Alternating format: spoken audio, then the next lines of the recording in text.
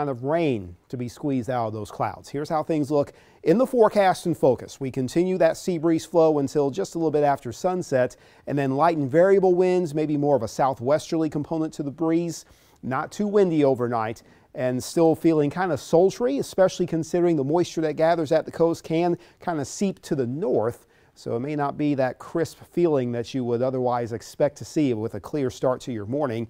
Of course, it is June, so it's hardly ever crisp around here first thing in the morning. But the point is, there's still going to be some dry air influence that keeps the sunshine coming through generally unabated. Maybe a few stray clouds up until about midday. And then we get the effects of a weaker zone here in the eastern Big Bend that allows the sea breeze to maybe cause a few more clouds to build, and that can spark off a few showers. So the rain coverage is still going to be limited maybe 10, if we're lucky, 20% of the region, mostly in eastern focus, and perhaps maybe an isolated storm that can pop up briefly in the Three Rivers area of the western Big Bend. But still, the main weather headline tomorrow will be the air temperatures at or above 100 away from the coast.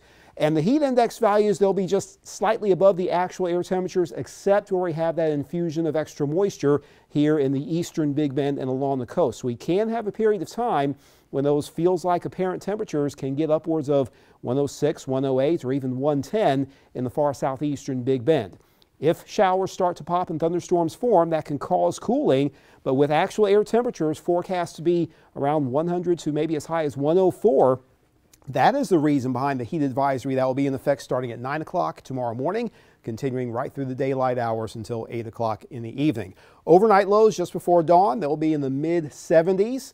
And here are those hot temperatures across the state line in southwestern Georgia. Many areas at or above 100, maybe as high as 104 or even 105. The all-time record for Tallahassee is 105. I don't think we get there tomorrow, but we can tie the record at 103. West to southwest winds for boaters. Watch for a stray shower or storm, especially on the eastern flank of the Big Bend.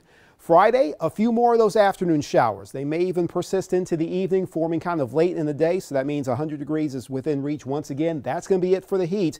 More rain and a typical thunderstorm cycle into next week. That makes highs 92 to 94.